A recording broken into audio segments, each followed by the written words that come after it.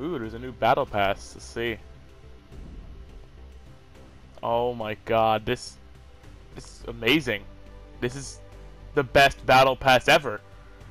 I, I can unlock Capitão's headgear, and then I can unlock another Capitão headgear, and then I can even unlock another Capitão headgear.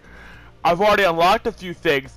That includes Capitão's headgear, Capitão's headgear, Capitão's headgear, Capitão's headgear, Capitão's headgear, Capitão's headgear, Capitão's headgear, Capitão's headgear, Capitão's headgear, Capitão's headgear, plus another Capitão's headgear, and another Capitão's headgear, and a breach path.